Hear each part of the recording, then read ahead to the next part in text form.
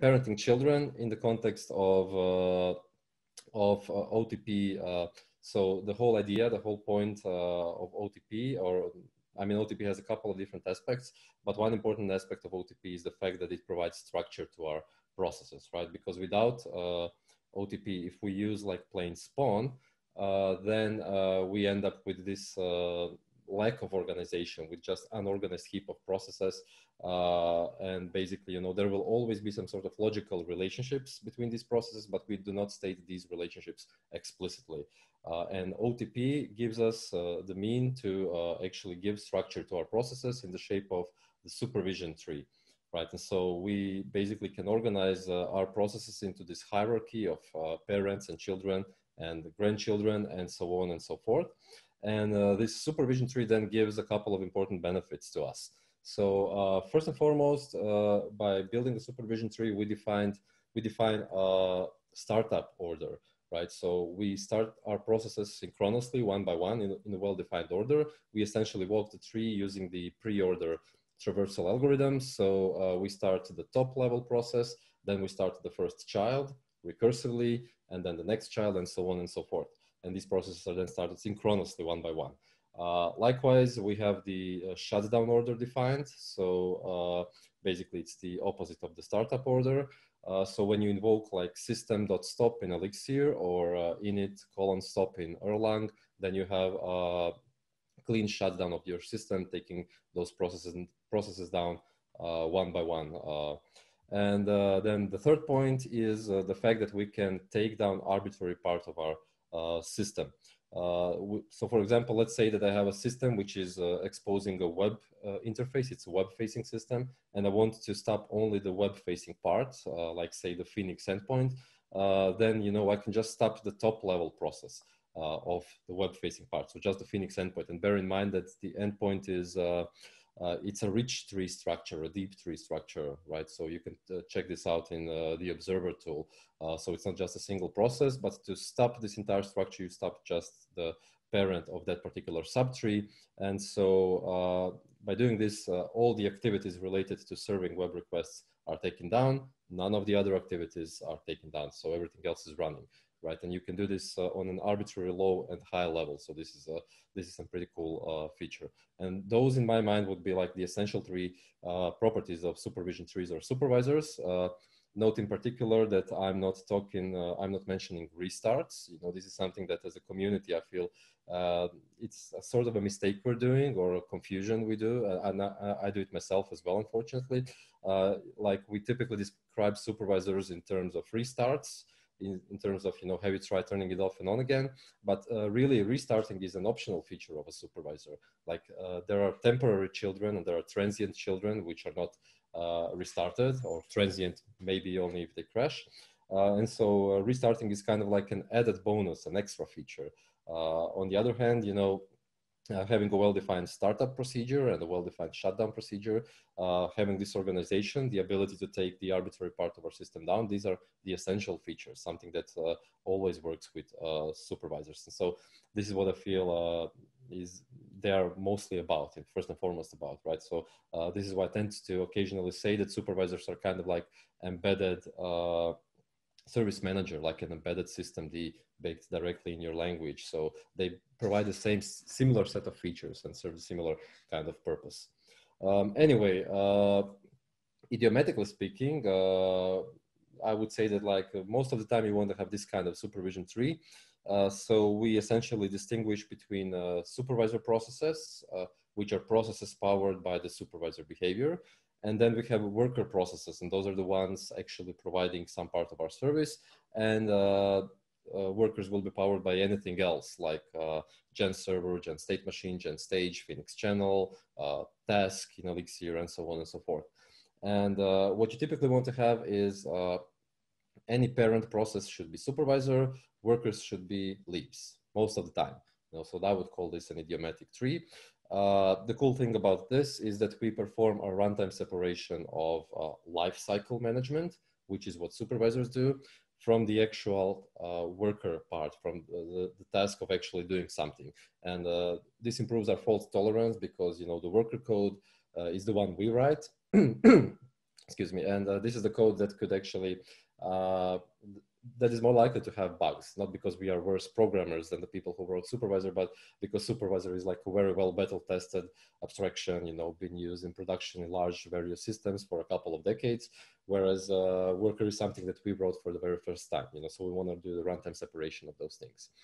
Now, uh, having said all that, uh, there are occasional cases uh, where uh, I found that it actually makes more sense or it's simpler to run uh, workers as children of other workers. So basically to have a worker parent other children.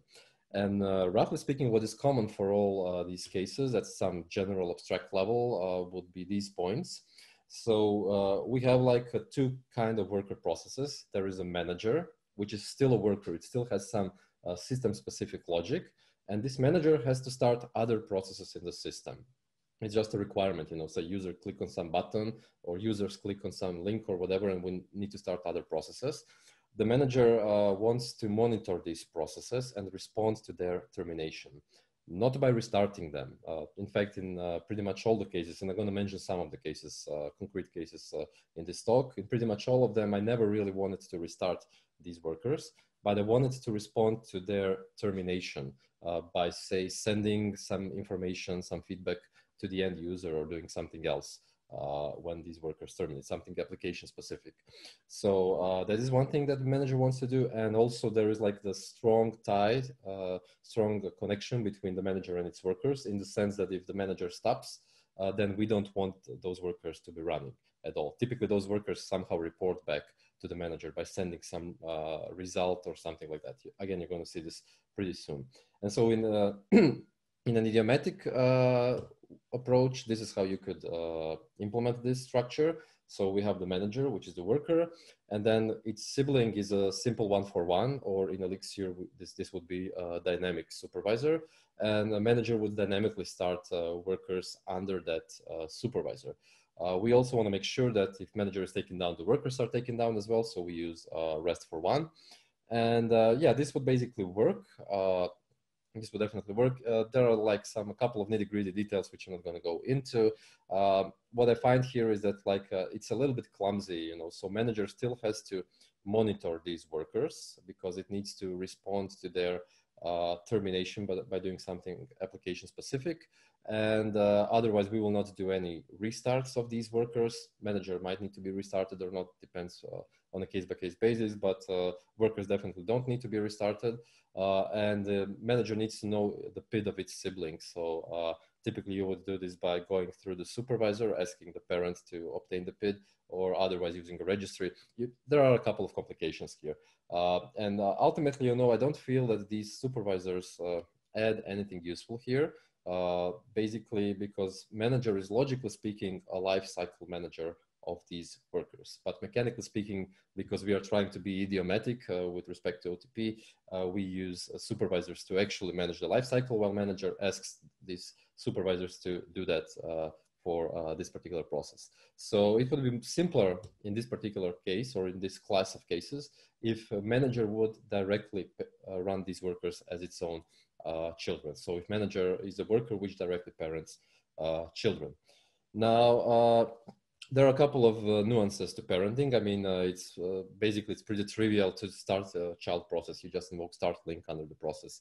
but there are a couple of other things we need to do. So um, I'm going to explain this through through a concrete use case, one example of this class of problems, which is a pretty simple example, uh, real life. So everything I'm talking about is are the cases that I actually had uh, in real life. This one from my previous uh, position at a company uh, called Aircloak, uh, where we were building a privacy sensitive analytics or GDPR compliant analytics, if you will. And uh, the core feature of, of that is that the end user, which we call analyst, submits a query like an SQL query, literally, and we need to fetch the result from the database uh, that matches that query. And we need to make sure that nothing in the result we return uh, reveals anything sensitive about any uh, individual.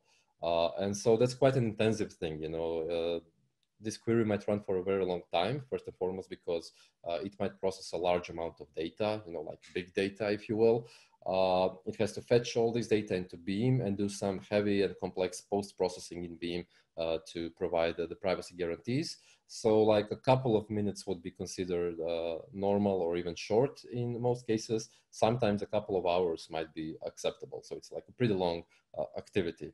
Uh, obviously, of course, we want to return the result of that query. So we want to report the outcome to the analyst and uh, the query itself might crash. Uh, so first and foremost, it's a complex logic. So there might be occasional bug uh, lurking. Uh, otherwise, the query talks to the database. We might lose the connectivity to the database because it's a long running process. Maybe even a database structure changes uh, while we are uh, still fetching the data and whatnot. So things can go wrong here. And uh, when they do go wrong, we want to catch that crash. We want to catch this termination and want to send the information again to the analyst. And finally, there is the cancellation feature, like the analyst clicks the, the cancel button on, the, on some interface and we stop any activity in the system uh, related to this uh, query. And from this, it follows that we need to have two worker processes, right? So we need to have this query runner, which is the process actually doing the job. This is what I like to call a non-interactive program in the sense that um, it's not a gen server or something like that. It's not waiting for messages from someone else. You know, you start it, start this program or this process, right? Give it an SQL query and it does everything, you know, fetches the data, does the post-processing, uh, produces the final result and sends it as a message to someone else. In this case, case this would be the query uh, manager. So the manager is the lifecycle, logical lifecycle manager of the query runner. It's associated with this query alone. Like if we're running 10 different queries, we're gonna have 10 different query managers uh, running. And when query finishes, the manager is going to stop itself. So the query manager starts the runner, monitors it. So in case the runner uh, crashes, uh, we get this message and we can propagate it further to the user.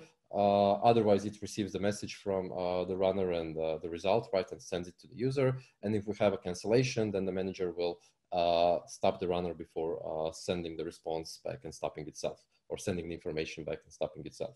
Uh, those are roughly the responsibilities. And then the manager would, as I said, parent the runner directly because logically speaking, it's a lifecycle manager. Um, so as again, parenting boils down to, at the very least, starting, uh, invoking start link from the process and immediately you're the parent. But if you want to be a responsible parent in the context of OTP, then there are a couple of other things you want to do, uh, which supervisors do for you out of the box. Uh, and before explaining that uh, and showing you the code sketch, uh, just you know, to give you the overarching idea is that we want to make sure as a parent that before we stop, all of our children are stopped, right? So that's, I would say, pretty much the only thing you need to do. Uh, otherwise, if we don't do that, if somehow I'm stopped, I'm terminated, and my children are still still dangling, even for a short while, uh, there can be some subtle bugs, you know, because my parent, uh, the parent of the parent, like some supervisor might restart me, uh, or start the new incarnation of me, so to speak. And then uh, I try to start a new set of child, child processes. Uh, the previous ones are running, and now you may end up in a situation where you have two sets of processes stepping over each other's toes, and this might lead to some subtle bugs, uh, loss of consistency and whatnot, and those would be like pretty hard to track. And otherwise, if some child uh, registers itself somewhere, like at the registry or at uh, say uh, uses local registered name or at global or something like that, uh, then the new child will fail to start and then the parent will fail to start and uh, you might even end up with a crash of the entire system. I think that I had that situation at least once in my lifetime and uh, debugging it was uh, boiled down to staring at random pieces of code for some amount of time before uh, I was able to find something. It's really hard to, you know, uh, debug these subtle problems. Uh, most of the time, everything works perfectly, but when it doesn't, it's not completely clear what went wrong. So uh, again, you want to make sure for, you know, for your own sanity uh, that uh, to stop your children before you stop yourself. This is the important stuff. And so let's take a look at the sketch of the code. so this will be the code, the sketch of the manager process, the query manager, right? So it's a gen server. And in the initialization, what we do is uh, I set the exit, the trap exit flag to true. So I'm trapping exits. This is a very important thing uh, because otherwise if uh, any process which is linked to me, which at the very minimum are my children, but could be some other process such as say registry, if I'm registered to registry, uh, if those process crash, uh, I will not be crashed. Instead, I will get an exit message informing me that those processes stopped. And so I can, uh, I have the opportunity to respond to termination of uh, linked processes such as my children and any other process for that matter. So this is the first important thing. Uh, then I'm starting the query runner as my child. So in this particular case, it's uh, powered by the task behavior.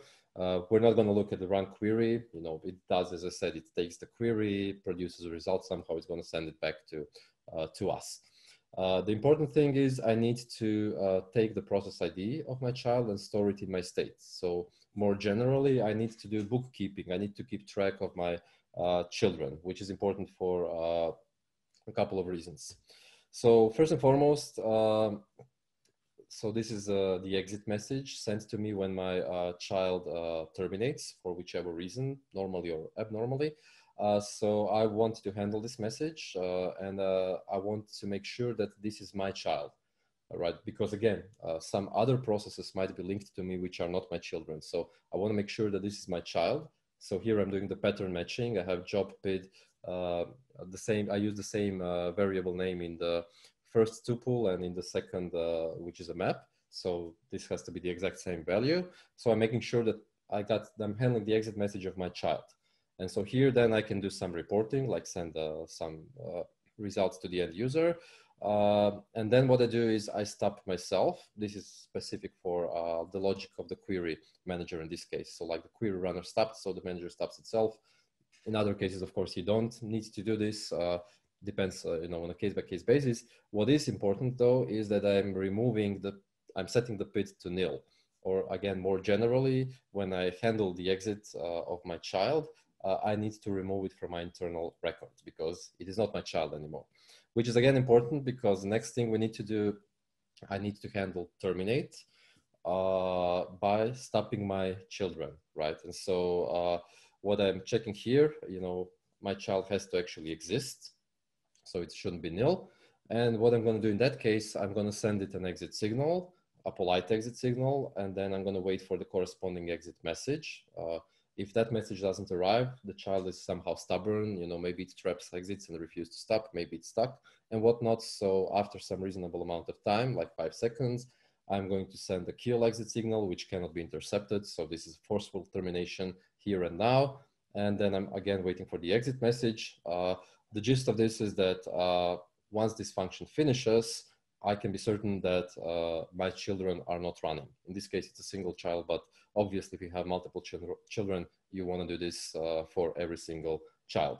Uh, this is also an important, uh, also begs uh, why we need to uh, why we need to trap exits, you know, because if I'm not trapping exit and my parent sends me a shutdown signal, this terminate is not going to be invoked. And so again, I might end up in the situation where I am stopped before my children. So again, trap exits and do terminate uh, handling.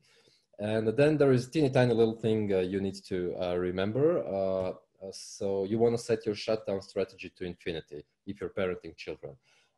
because otherwise your parent uh, you know, so typically for workers, shutdown strategy is five seconds.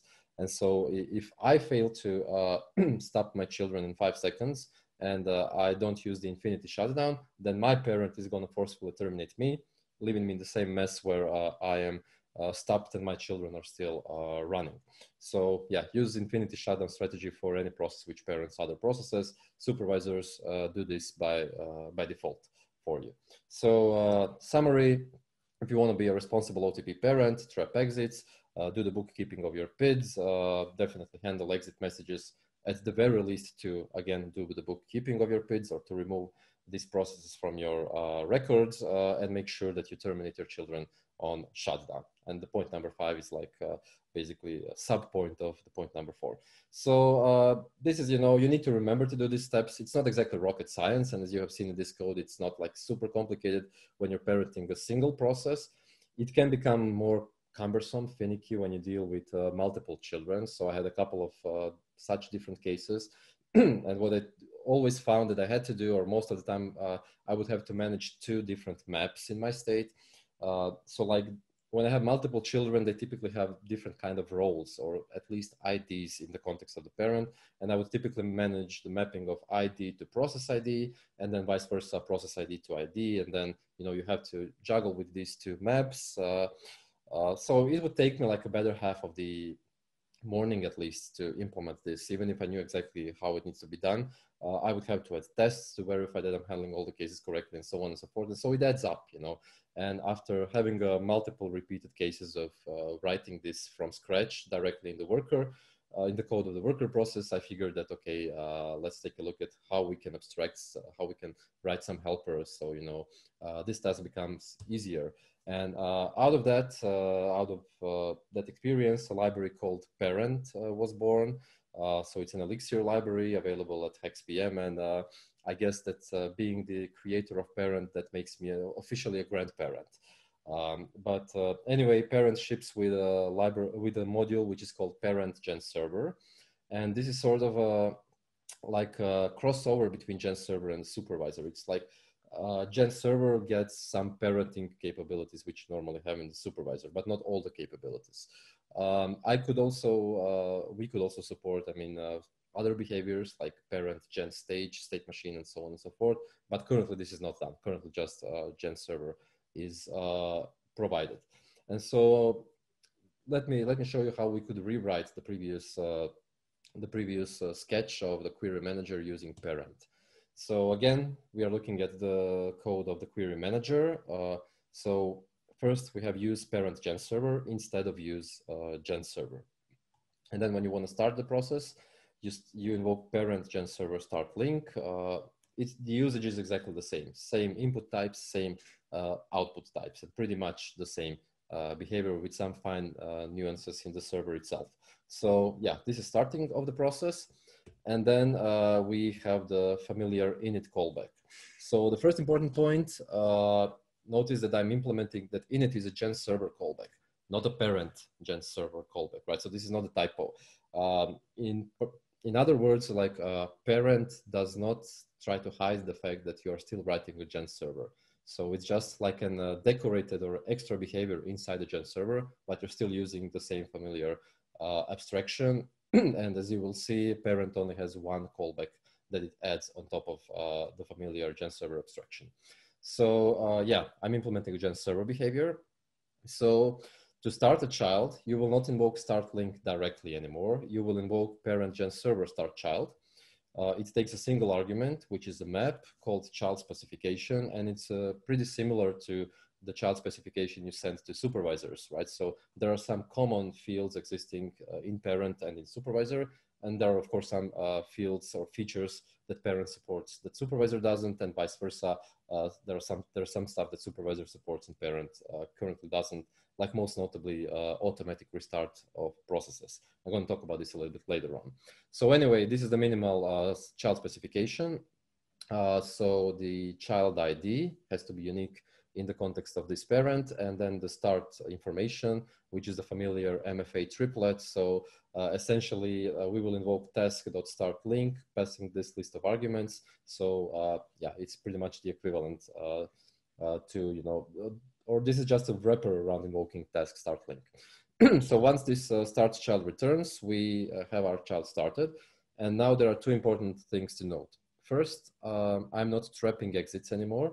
So this is done by default uh, before init is invoked by the underlying parent uh, abstraction for us. So you don't need to remember to trap exits. Uh, secondly, I don't do bookkeeping. So I ignore the process ID of the child and I, I don't store anything into the state of the child, right? So the bookkeeping is done by the parent library itself. Now you may notice that uh, we don't get any uh, data structure from the parent. So this bookkeeping is done as a side effect. You know, I invoke this thing and uh, parent uh, stores this information someplace, like in some mutable place uh, as a side effect. Uh, so I have opted for this approach because uh, first and foremost, I wanted to keep the interface clean. So I didn't want to have uh, the situation where I, like parent sends you some structure, which is opaque, and then you need to send it back. This actually eliminates possible errors because like starting a child is a side effect in itself you know. Once you started the process it's there and this is definitely our child. So uh, by storing this information as a side effect we uh, eliminate the chance uh, where the client sends some older version of uh, the state of the parent. And so basically we eliminate the chance of having some mismatch between what we think is the state and what actually is the state. So yeah that's why parent does its bookkeeping Uh, as a side effect in a mutable place. Uh, and that place is the uh, controversial, notorious, widely, widely uh, hated uh, process dictionary. Uh, so the reason why I'm using process dictionary is because the state of the parent is its own internal affair by default. So by default, others don't need to know about ch the children. And therefore, process dictionary actually, in my view, makes more sense than using ETS table or some agents, gen server, uh, and whatnot. And yeah, in my opinion, this is like an appropriate uh, example where process dictionary uh, can can be used. At least you know that, that that's that's the way I think about it. So anyway, uh, going further, you know, we have started our child. Now, when our child terminates, we will not get the exit message. Uh, instead, uh, parent will invoke this single callback of the parent gen server. This is handle child terminated. you don't have to implement it in case you don't need to do termination uh, or handle termination. Uh, default implementation does nothing. Uh, otherwise, of course, you can implement it. So you will get five arguments. The first one is the ID, which we passed previously in this specification when starting the child. Uh, the second thing is called meta. I didn't really talk about meta. Uh, essentially, it's like arbitrary piece of information you can attach to the child when you're starting it, and then you get this information back.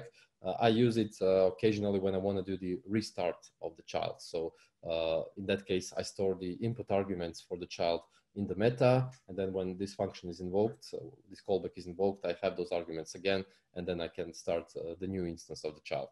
Uh, the third argument is process ID. Uh, then we have the exit reason, uh, why the child terminated, and then the state of the parent of the gen server. And so here I can do some reporting and then uh, again, application specific, I'm stopping myself uh, or use case specific, I'm stopping myself here. Uh, again, you know, I don't have to do bookkeeping. Uh, when this is invoked, parent already removed the child from its internal records.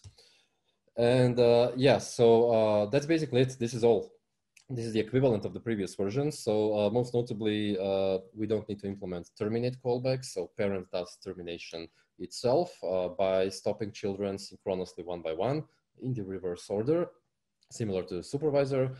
And uh, you can implement your own terminate callback if you want to, but that terminate will not override uh, the default behavior. So if you add your own terminate in uh, the gen server, it's invoked before your children are stopped. And so you can do some final uh, cleanup, like say, wait a little bit more for your children, give them a chance to do the final flush. Uh, once uh, your terminate uh, is done, the foundational terminate will be invoked unconditionally. And so parent guarantees that uh, to the, uh, does the best effort. And I think if you're doing things idiomatically, it's guaranteed that parent will not be stopped before the children are completely taken down. And finally, parent by default uh, uses or uh, specifies uh, the sh shutdown strategy just like the supervisor does. So uh, you don't need to pay attention to that. Um, cancellation, this is something that I didn't show you in the manual implementation, just as an example of how we can interact with the parent process from the outside. So like he, end, end user hits the cancel button, we discover the process, we get the process ID of our query manager and do gen server call. Uh, so just a regular gen server call, nothing specific there regular handle call. And what I can do here, then I invoke parent gen server shutdown child, uh, passing it to the child ID, and this will synchronously stop the child and uh, remove it from the internal records, and it will also consume the exit message. So when I invoke shutdown child, I will not get uh, handle child terminated callback. Um, this is by design. And so then I can uh, stop myself so that's pretty pretty much it. You know, I would say that the usage is not completely not not super complicated. Um, a couple of other features of parents. You know, I'm not going to go through all of that. You can uh, take a look in uh, the documentation. Uh, so, oops, uh, sorry, hit the wheel. Uh, hit the wheel on the mouse. Okay, so a couple of uh, other features. so these functions are meant to be invoked from the server process only. You cannot invoke them outside of the parent process. Uh, so you can invoke children to get the list of uh, children. Uh, the second function, child question mark, you give it a you give it an ID and it gives you true if this is your living child, otherwise false. mapping of the logical ID to the process ID and vice versa. Uh, you can manually request a shutdown of all of your children. So synchronously take your children down. this will do the same thing which is done in terminate, but you know you can invoke this in case you want to stop your children without terminating yourself. Uh, and there are a couple of other functions, but we don't need to go through all these details. Um, and then uh, this is very interesting. So the credit to this goes to Michał Muskała, uh, who proposed the idea and even gave me the uh, exact steps I needed to do. So the only thing I did was just type the code, nothing else. Um, and uh, yeah, so parent, uh, the, the title here is a bit misleading. Parent is not a complete supervisor, but it presents itself to the rest of the OTP world as a supervisor. Uh, and so, uh, for example, functions uh, such as this one here, like supervisor with children, uh, will work if you pass it a PID of the parent process. Now, this is cool because uh, the traversal logic that traverses the supervision tree will go inside the parent and it will traverse children of the parent. So like uh, this is the release handler. Uh, like if you're doing live update of your system, then um, there is this thing called release handler, which walks your tree. And uh, this uh, logic will go and into your children and they will also participate in the live update uh, things. So yeah, I think that it's a, a nice feature. Okay, so uh, for the rest of this talk, I'm going to give you a couple of other examples uh, where I'm directly parenting children, and we're going to see some sketches of how I'm uh, using parent. So this is the case from from a few months ago, really quite fresh, I would say. so something I did for for my current clients, very big things. essentially, like at some general level, without going into too many details uh, we interact with a third party API. And to interact with it, we need to have a thing called access token. And uh, this is a token which is temporary. You somehow obtain it and uh, then it expires in one hour. And so you need to refresh this uh, every hour or, or so. Um, and uh, the way we implemented this is, uh, to, is by using two processes. Uh, so let me show you uh, the sketch. So this is the sketch of like the manager of the refresh process. So similar to what we have with like query manager, query runner, here we have refresh manager and the refresh runner. Uh, the runner will actually, you know, go to the external API and fetch the access token. And we are going to take a look at the manager, which is the Gen server. So during initialization, I'm going to invoke start token refresh, uh, which is the function that starts the child of this parent, right? And so nothing particularly new here that you haven't seen, maybe a small mention that I'm explicitly setting brutal kill as a shutdown. And this means uh, that we're not gonna give uh, any uh, chance to the child to stop itself when we're stopping it, uh, or sorry, to clean up when we're stopping it. You know, so we're gonna send the uh, kill exit signal and the child is going to stop immediately. It cannot uh, trap this signal. the reason why I'm doing this is because the uh, basically if I'm taking down the manager, I don't need uh, the refresh process to finish anyway, because manager is the one uh, storing, uh, storing uh, or keeping the track of this uh, access token. So anyway, we have started our refresh during initialization of the manager. And then when our refresh process terminates, we are going to enqueue the next one. And we're going to start the next one uh, the delay between uh, now and uh, when it's going to be started depends on whether this one succeeded or not. So if it succeeded, if it obtained the access token, we're going to start the next one in 50 minutes. So the token expires in 60, so we want to have some buffer. Uh, otherwise, if there was an error obtaining the token, then I want to have a smaller uh, interval, so I'm going to use 10 seconds as a delay. So I compute this delay depending on the exit reason.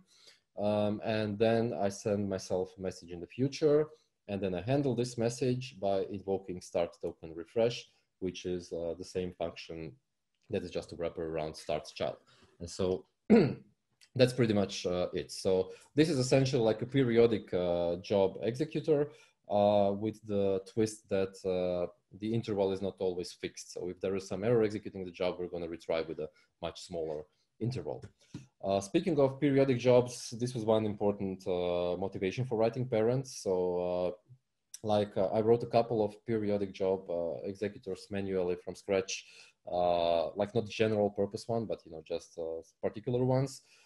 there are some libraries, which of course there were at the time even many libraries which uh, uh, supported uh, made the job like trivial but for various reasons i didn't like pretty much any of other alternatives for a couple of reasons. Uh, most of all, because many, if not all of them, use the cron syntax with all those stars and slashes, and I find this like super unintuitive and uh, human unfriendly, if you will. So that's definitely not uh, what I wanted to deal with, uh, or I want my teammates to deal with. Um, in addition, I disagreed with uh, the proposed OTP structure that they were using uh, with you know many of them using like some global supervisor or global process under which they would start all these uh, scheduled jobs. And i don't think that this is uh, like the optimal approach for periodic job execution um, and then many of them also relied on application configuration and uh, i'm not uh, you know i try to avoid application config as much as i uh, can i find that it's like rigid and it has its own set of problems so by application configuration, I mean application environment, uh, just to be clear. So yeah, I wrote a, separate uh, uh, wrapper uh, on top of uh, parent, uh, which is called periodic. It's contained in the same library. So it's part of parent. Technically, it shouldn't really be there, but it's just a single module. And so I'm keeping it there. it's like much more convenient for me, uh, especially it was in the early days when I was developing this to, you know, add features to parent, uh, which I needed for uh, periodic. But anyway, periodic is built on top of parent.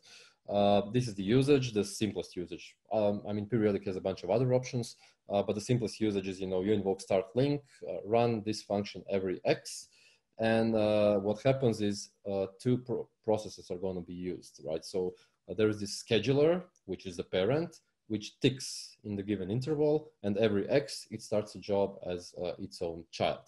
Uh, and so we want to separate the task of ticking from the task of running uh, the job because uh, uh, then, you know, if there is some crash in the job, uh, the scheduler still ticks.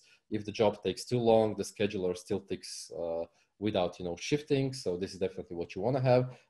and then what's my personal philosophy and my personal opinion is that we want to have this pair per every single uh, distinct job. So we want to have dedicated scheduler for each job separately in most of the cases.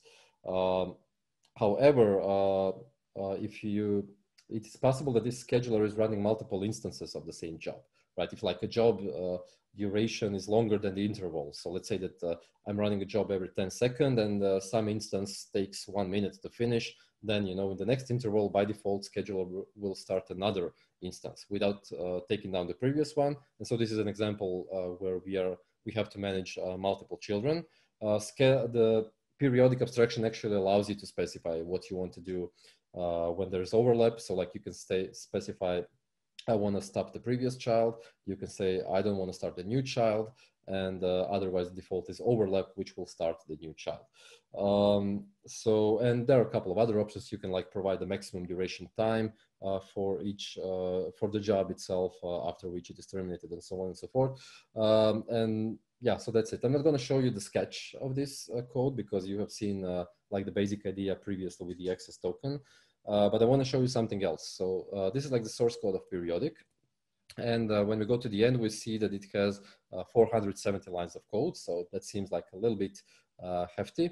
Uh, however, if I go up a little bit, what we're going to see is that first 300 lines of that are plain user documentation, module documentation. And so it's just 170 lines of code which is, you know, if I kind of try to scroll this gently, uh, I mean, I'm subjective, I'm partial to this code, but I feel that this is like a pretty focused code, which uh, explains its intention clearly. It's focused on the domain, which is periodic job execution and dealing with a bunch of different uh, options and scenarios. Uh, and the mechanics of, you know, parenting multiple children are moved outside of that, uh, outside of this uh, code, right? So deeper into the parent abstraction. And so this to me really proves that a parent delivers, you know, it adds some help in uh, some cases. You know, if, if I had to parent uh, the children manually here, uh, I would definitely, uh, I think the code would be like at least twice as large or something like that. So it would be way more, more uh, co complex than it currently is. Okay, so uh, another scenario. So this one is going to be a little bit more involved in explanation. The code is actually going to be simple, but please uh, bear with me. So uh, this is a technique I call adaptive batching. I don't know if there's like some official name for it.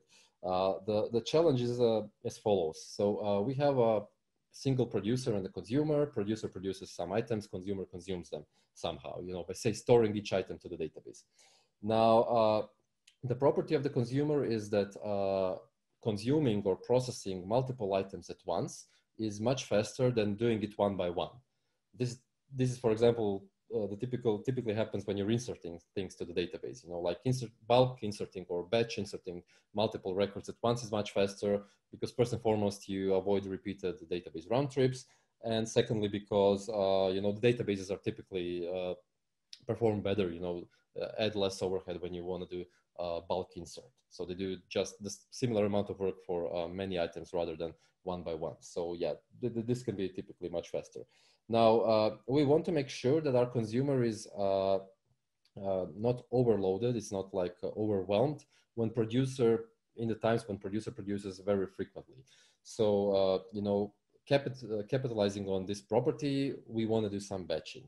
And what people typically do in this case, uh, at least that's my uh, experience, you know, my limited experience, uh, they pick some random interval, right? So what they're going to do is in consumer, they're going to aggregate stuff.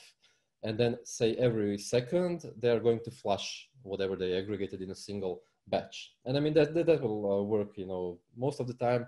Um, I have a little bit of OCD here because uh, the actual time, you know, how we pick it, it's quite unscientific, you know uh, I mean, you want to look for a balance between uh, time which is not too small nor too large, right? If, if it's too small, your uh, producer might still uh, overload you. Uh, and if the time, this interval is too large, then you add uh, too much latency by default.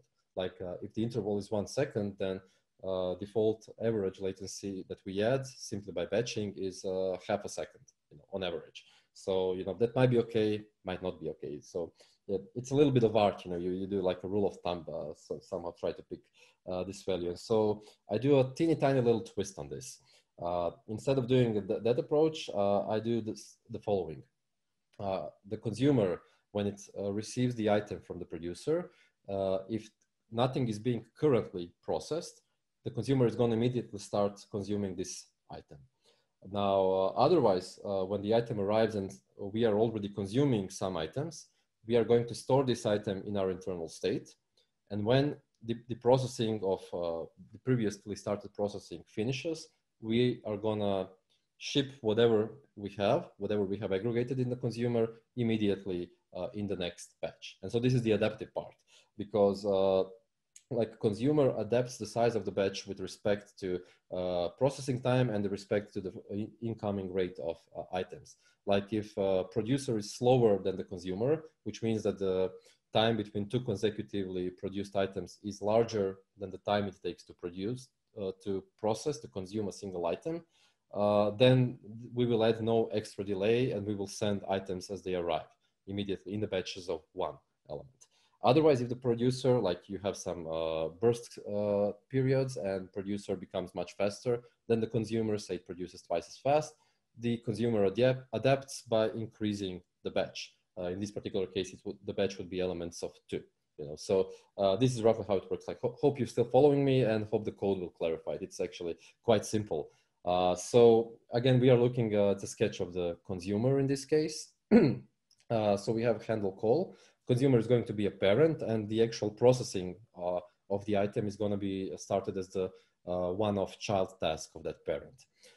so consumer, uh, we are handling a call in the consumer handle item, which is uh, invoked from the parent, uh, sorry, from the producer process when it produces some item. So how do we handle an item? If uh, we have the child with the given ID running, it means we are processing something from before. And so I'm going to store this item into my own state. I'm going to enqueue it somehow. Uh, so that's the first part. Otherwise, uh, the, child is not running, so I'm not processing anything. I'm idle at the moment. I'm going to start the job uh, with this single item in the batch. And start job, I'm not going to show you, but this is again a wrapper around parent server, parent gen server uh, starts child. So this is the first part, and this is the second part, that's all uh, that we have. So uh, when the processing job finishes, uh, I'm going to pop everything I have in queued in the meantime, and if I have in queued nothing, so this first element is going to be an empty list, I'm going to do nothing. You know, I, I don't have anything to consume, so you know, I'm, I'm not going to do anything. Uh, else, I have some items enqueued, and I'm going to start another processing job with those same items. and that's essentially it. So uh, pretty straightforward. Uh, the cool thing about this pattern is, uh, you know, I have used it in my first production and ever since, every now and then. Uh, it's quite flexible in the sense of you know uh, because you you are in the gen server and uh, you get the full control of what you're gonna how you're gonna deal with these incoming items. So like you can for example if your queue becomes too large you can ask the producer to stop to back off for a little while.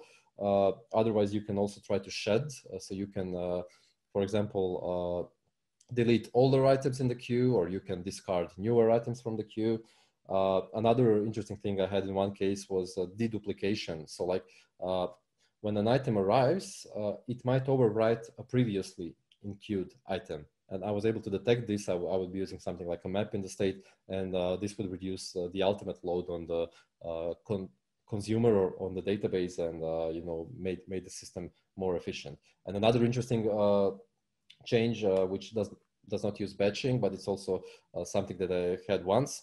Uh, instead of using a queue, I would be using a stack. And the stack basically means uh, I want to process uh, fresh items first, older items when I get some breathing space. So, you know, you have a quite a lot of variations that you can do here. And the code is again, you know, so first slide, second slide is like a pretty straightforward and simple code, uh, very, very flexible. So this is something that I personally uh, tend to use from time to time. Okay, this is the last case that I'm going to show you, and this one is going to be uh, simple. Dynamic startup flow. Uh, I'm just going to show you the sketch of the code, and it's going to be more obvious. This is something that I needed uh, relatively recently in uh, my library called Site Encrypt, uh, which does the uh, Let's Encrypt SSL certification for Phoenix endpoints. And so essentially what I wanted to do there is I need to, during the application startup, I need to start one process, one child, then get some information from this child, which I can only get when it started. And depending on that information, I might start another child. Uh, and then unconditionally, I will start some subsequent, uh, even younger siblings. So uh, when I needed to do this, what you see here is like the sketch, which is basically based on parents. So uh, start child one, start child two, and start other children uh, are all wrappers around parent gen server start child. Um, but this was not my first attempt. Uh, actually, when I wanted to do this, I went down the idiomatic path of just using supervisors, and this becomes quite finicky, you know. So uh, somehow you need to, in the supervisor, you start the first child, and then some transient task which goes back to its parent and tries to start other children. I mean, it can be done, but uh, it's all very circumventional uh, in its intention. You know, like when I read this code here, it's you know pretty explicit. I think that the intention is stated as clearly as it possibly can be stated you know so literally what i told you i think that the code explains it even better than the words can in this particular case. Um, and uh, so that's what i like and i ended up with this approach. Um, on the flip side though uh, i lose the ability to restart children right? So here the parent is used uh, instead of a supervisor uh, for some critical children I don't get automatic restarts, so I had to do this manually. Uh, and as I hinted, you know, I did this in a, in a, by handling, by doing handle child terminated, uh, and you know, just starting the new instance of the child there. So this is a naive version of a simple one for one, but without uh, restart capabilities uh, built in. Uh, or sorry, without maximum restart intensity uh, built in. So restarting is done, but the supervisor or the parent never gives up. And uh, this leads me to the final slide of the, this talk. So possible additions I'm considering.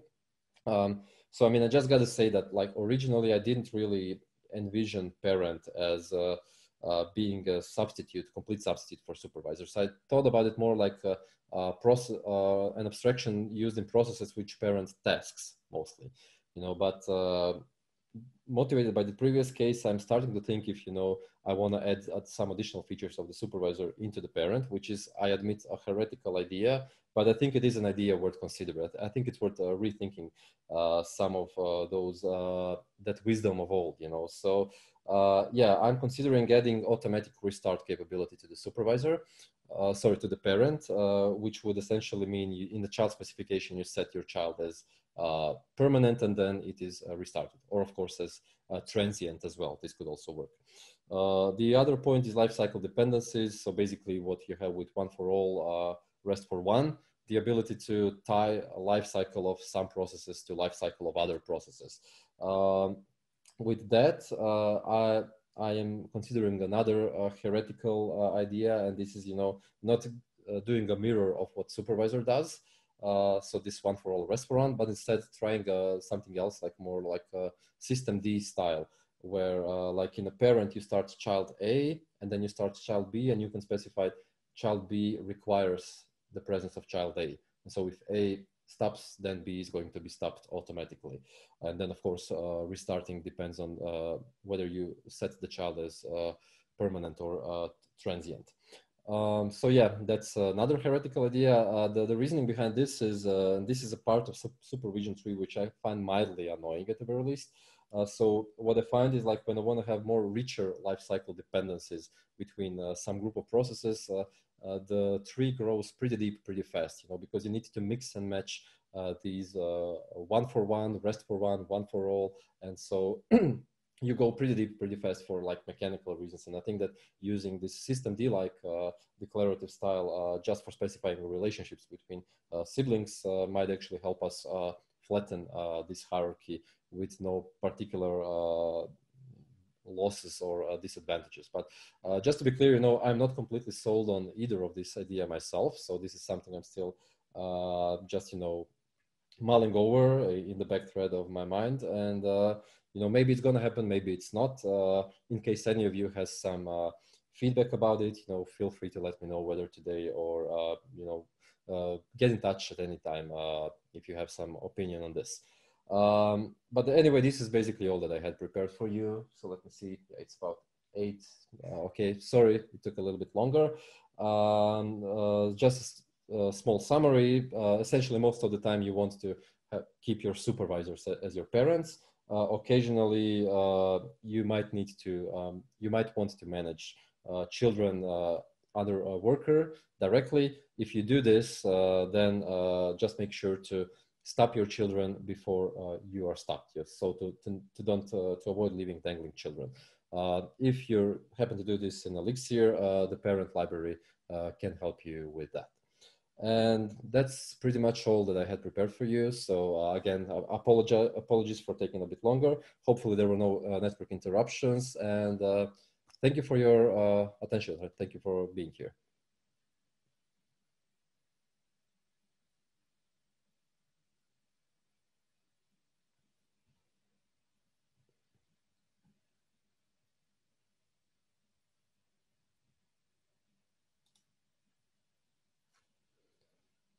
Okay, so um, I'm done. So I'm now not sure. I see a Just bunch. a second. I need to unmute Brian. Um, uh, okay. Uh,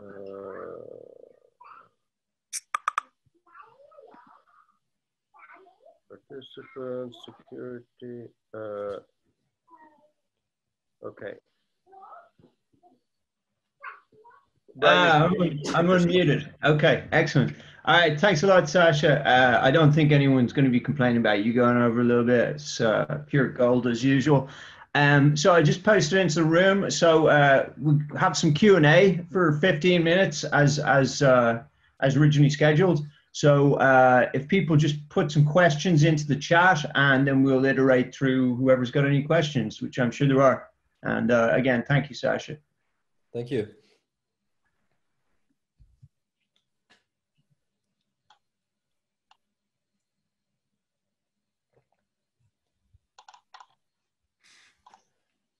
Okay, so we have a question. So how does it work? I, I read the question out loud and then respond, right?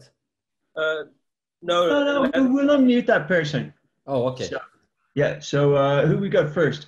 The first one was Francesco, which feels like a rigged uh, thing, but honestly, it's not. So Francesco, do you want to ask your question? It's not rigged at all. Can you hear me? By the way, I'm on a really, really bad internet connection. So you know, thank you, Brian, for actually hosting the meeting on my behalf. Um, yeah. Um, can you hear me okay? Yeah, yeah, no, you actually you sound brilliant. brilliant thanks.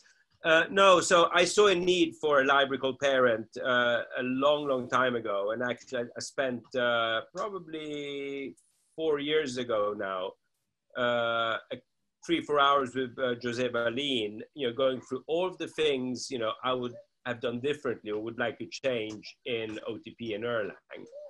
And the ability to, to basically just link child processes to parents in a controlled way was, was one of them. So uh, when did you first come up with the need for such a library? And uh, you know, what, what, what inspired it? Um, well, when did I come? The first uh, it's, it's hard to say. I mean, I had a couple of a bunch of these cases uh, uh, that I mentioned, uh, even like five years or more, probably even sooner than that. But I didn't know that I needed the library uh, because in my early years of Beam, I was still trying to figure out what's the correct OTP way. Um, that being said, the idea to write it actually formalized in my head about three years ago. So that was the first time and I think that I uh, actually went on and built it like two years ago or something like uh, that. And at that point already, I had something like at least uh, five to ten uh, different cases in the active stuff I was working on where uh, I would uh, I would find the, the parent useful. Um, yeah. Thank you. Did that answer question, Francesco? Uh, so, but just as an extension, I actually forgot to mention this during the talk. When you go to the uh, hex docs on the of the library, there is a uh, in the pages section there is a rationale document. It's also uh, in the GitHub, uh, you know, as a markdown, and uh, you may want to check out this. So there, I provided like a detailed explanation of a couple of cases, which are mostly, I think, all from this also mentioned in this presentation. And I talk about, you know, how I would use a uh, OTP structure, regular, and then uh, why that wouldn't really help me and stuff like that. So it's like a more elaborate uh, explanation of uh, what motivated me.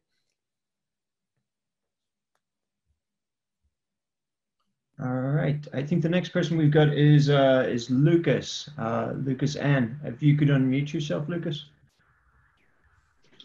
Hello. Hey so yeah, basically what I wrote there, would you recommend parent for a use case where the manager is mainly just there for listing what's open? Like I have several use cases where basically I need the manager process mainly uh, for other processes to look what is currently or what workers are currently active. Uh, mm. And I, I use the I use a simple Gen server combined with dynamic supervisor for actually monitoring the uh, the open processes. Is it uh, written in Elixir or Erlang? Elixir. Elixir. Okay, so if all you want to do is uh, keep track of live uh, children, maybe with some meta, uh, I mean, you can do this already using supervisor with children, uh, which I personally tend to avoid because it issues a call into, I mean, supervisor is internally implemented uh, as a gen server, right? so it issues a call into that process and it's synchronous uh, if since it's dynamic, it might be overloaded. So uh, I typically avoid that. The approach that I usually go to is to use a dynamic supervisor and the registry. And so I uh, Elixir registry, right? And so uh, I would basically register, have each child register in the registry, and then you have like this place where you can uh, get everything you want. Right. Yeah. Yeah.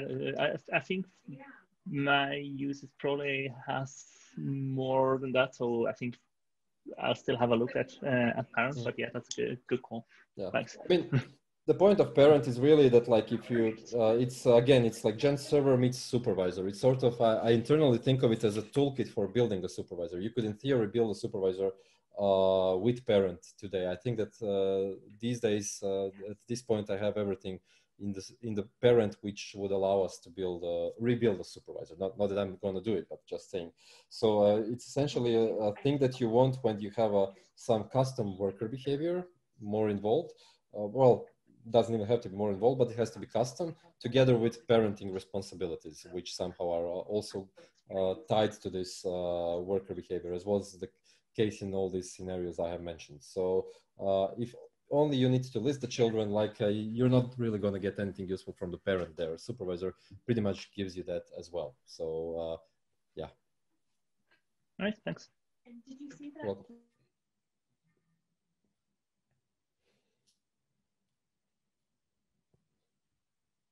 Uh, so uh, we need more questions. Has anyone got any more questions for Saša? It's a rare opportunity to talk to him.